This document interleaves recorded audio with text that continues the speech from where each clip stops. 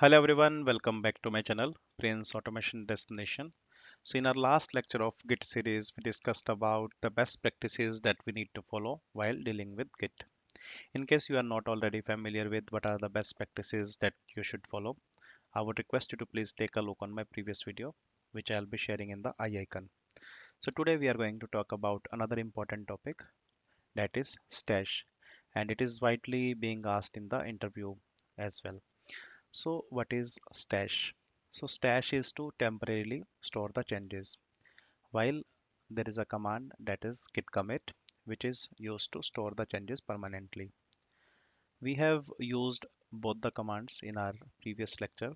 So today we are going to dive deep into git stash and we are going to understand stash at the low level. So let us try to understand where exactly we will get this particular scenario of stashing where we would need to use the git stash. So let us say being a user one you are working on feature slash dashboard and there is a user two who is working on let us say feature slash login. Now for example you are on feature slash dashboard and what you are doing you are making some changes and let us say you have made changes in multiple places. Right now i'm making it making it at uh, one place. I'm in middle of something let us say right? Now all of a sudden user one reached out to say you he says like uh, to user one that i'm facing some issues. I would request you to please take a uh, like switch to my branch and fix my issues so that uh, i am unblocked and uh, i'll be able to fix the i'll be able to proceed further. But as you have made the changes you don't want to lose your changes as well right?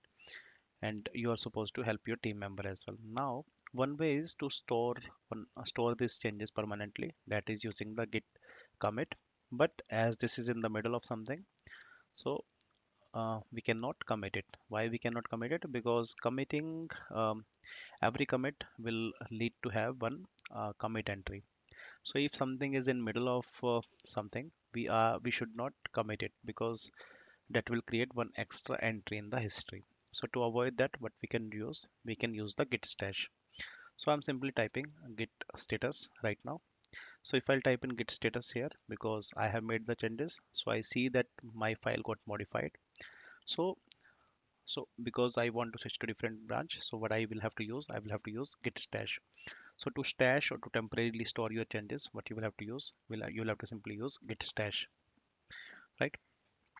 So so when you will type in git stash and again you will type in git status you will see that the tree is clean now you can simply go to login branch and you can make your changes you can fix the changes and add the changes commit and push and again you can come back to your branch.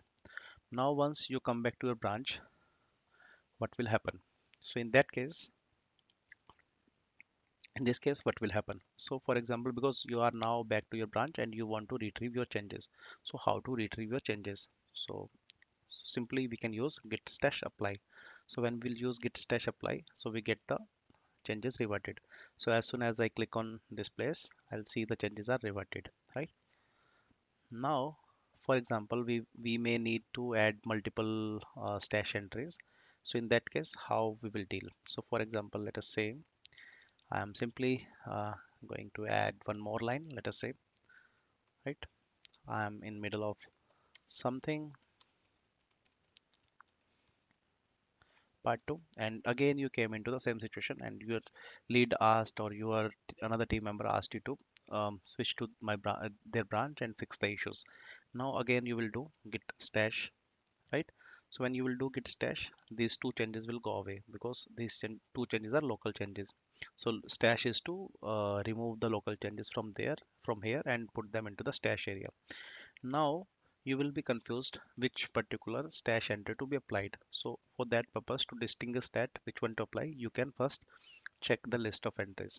So 0 being the latest one and 1 being the oldest one. So if you will simply use git stash apply you will get the latest one. But for example in case you want to apply uh, by index so you see that every stash has one index. So we can use 0 or 1 whatever you need.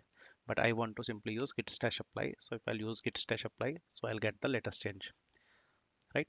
So this is how I can retrieve the changes. Now because we have retrieved our changes so what we can do we we want to because still if I'll check git stash list I'll see that my changes are still there. But I because in the long run I'll be working I'll be doing many git stash so because I don't want to create a mess so what I want I want to clear this stash. So for that purpose what we can use we can use git stash clear. Now if I'll see git stash list I'll see the empty list. So so far whatever we have discussed we have discussed about the stashing right? And now for example let us say now I type in git status because I don't want these changes because we have covered the stash already. I want to cover some more part on the stash. So I'm simply going to remove these changes to make a make my tree clean right? So you see that I have um, made my tree as a clean. Now for example if I want to let us say add one file sample.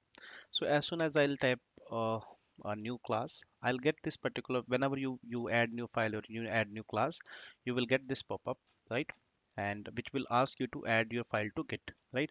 If you want to add it what will, and you click on cancel what will happen? It will go into the untracked area right? Untracked meaning the git is not aware. So in case you want to stash this kind of files because when you will be working on a, on a um, particular branch right? So you will have untracked files as well. So in this case if you'll try to use git stash you won't be able to stash your changes. So how to stash untracked files. So for that purpose we do, we have to simply add hyphen u at the end. So if i'll type in git stash hyphen u my this uh, untracked file also can be stashed. So if i'll type in here this particular file will be removed. So if i want to uh, retrieve it simply I'll use git stash apply. So if I'll type in here so I see that my changes or my class got reverted or retrieved. Right so this is uh, what I wanted to cover as part of stash video. And um, thank you for watching. I would request you to please like share and subscribe. Thank you